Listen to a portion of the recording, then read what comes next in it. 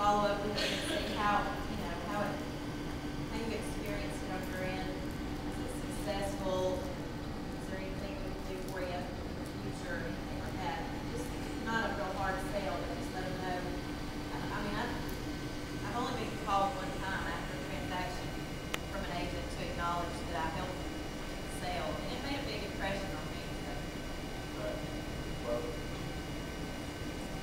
I like the idea best of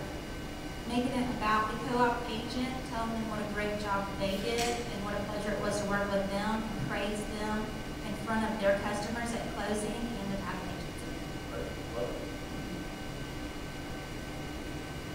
Um, I'm Sharon Jeffrey.